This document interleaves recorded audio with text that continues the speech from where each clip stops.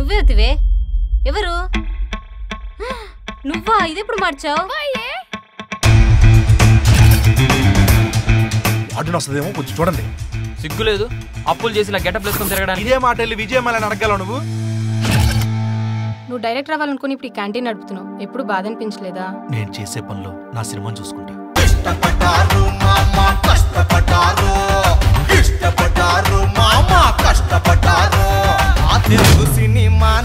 లోకానికే చూపించారు. ఆ తెలుగు సినిమానే లోకానికే చూపించారు. సినిమా అంటే దీన్ని బట్టి నాకు అర్థమైంది ఏంటంటే ఆ అమ్మాయి ఎవరైనా కలవడానికి వెళ్ళి ఉండొచ్చు లేకపోతే ఆ అమ్మాయిని ఎవరైనా కిడ్నాప్ చేసి ఉండాలి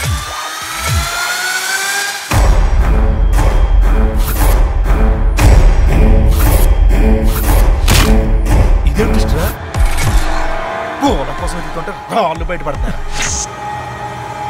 దట్ ఈస్ దర్శకరత్న దాసర నారాయణరావు గారు Please subscribe. Please do subscribe. Please subscribe Please subscribe. Please subscribe to our YouTube channel.